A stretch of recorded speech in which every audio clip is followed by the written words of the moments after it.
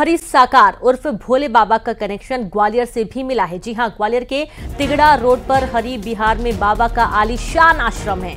बताया जा रहा है कि बाबा अक्सर यहाँ सत्संग के लिए आते थे और उनके सत्संग में हज़ारों की संख्या में उनके भक्त शामिल होते थे। स्थानीय लोगों ने कहा कि बाबा के सत्संग से परेशानी होती थी। इसके अलावा बताया कि बाबा खुद को परमात्मा बताते थे और किसी देवी देवता को न मानने की सलाह भी अपने भक्तों को देते थे। न्यूज़ एटीन संवाददाता ने आश्रम का जायजा लिया। बाबा के हाथरस के उस सत्संग में मची भगदड़ में 121 लोगों की मौत हो चुकी थी।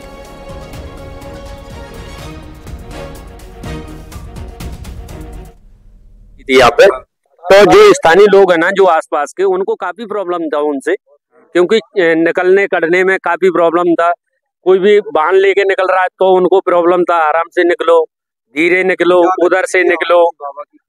कुछ नहीं ऐसे ही है ना मंच पे बैठ के भाषण देते थे अपने आप को स्वयं परमात्मा बताते थे किसी देवी देवता को नहीं मानना है तुम्हें।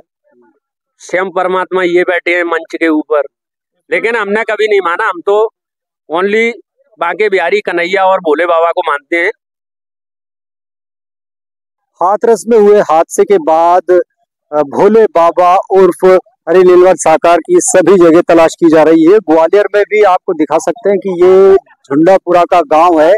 यहाँ ये बाबा का आश्रम बना हुआ था। इसी आश्रम में बाबा आते थे यहाँ रुकते थे सत्संग करते थे और इसी जगह आप देख सकते हैं कि ये जो मंच बना हुआ है इसी मंच पे उनका सत्संग होता था। ये ये जो बाबा है कब यहाँ आए थे? पिछली बार कब सत्संग हुआ था? तीन से चार महीने हो गए जब लगा था यहाँ पर उनके साथ चल। कितने लोग आए थे उस समय? पाँच से सात लाख की भीड़ थी। पाँच पाँच हाँ, पाँच सात लाख। यहाँ से ज़्यादा है। पाँच किलोमीटर के एयर फेयर में तो बस गाड़ियाँ खड़ी। कुछ बोलते नहीं सुनाई नहीं पड़ती थी। बस वैसे ही जनता पागल हो रही है। लोग आते थे बाहर से कहाँ कहाँ से लोग आते गुजरात यूपी राजस्थान।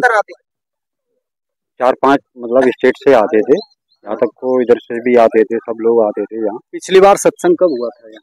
पिछली बार काफ़ी समय हो गया तब से नहीं हुआ। था कितने लोग आते थे? क्या स्थितियाँ थी कल पुलिस आई थी यहाँ? लाखों की संख्या आती थी सर यहाँ पे और ये है जो बेचारे बेचारे जिनके जो नई शादियाँ करते थे जो भी करते थे बेचारी उनकी औरतों पर बहुत चुड़ैल जो भी लगती थी।